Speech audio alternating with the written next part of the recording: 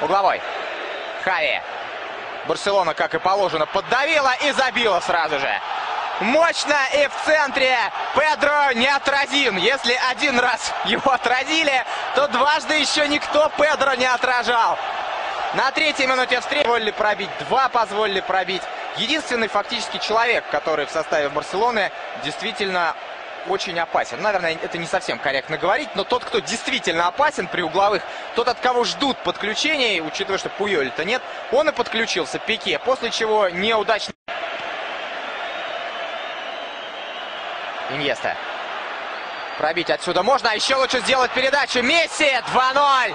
Это был гениальный, гениальный, гениальный, только не Месси. Месси был молодец, а гениальный Иньеста, который нам сейчас показывает свой гениальный затылок. Ничего не смог сделать. Посмотрите, какой пас. Причем все поверили, что будет. И я, честно говоря, поскольку Месси не видел, э, тут не на стадионе, на мониторе, я был уверен, что Иньеста будет бить. Разрезал, да нет, даже не разрезал, знаете, режут лапшу, когда тесто на домашнюю лапшу. Вот примерно так же сделал Иньеста. Ну и дальше Месси, как и положено большому мастеру. Да, с правой ноги. Да, тянулся к мячу. Стран. Какую, правда, не говорят. Вроде как это тайна. Причем шейхи предлагали Бьелсе. Дождемся, чем дело закончится. Удар 3-0.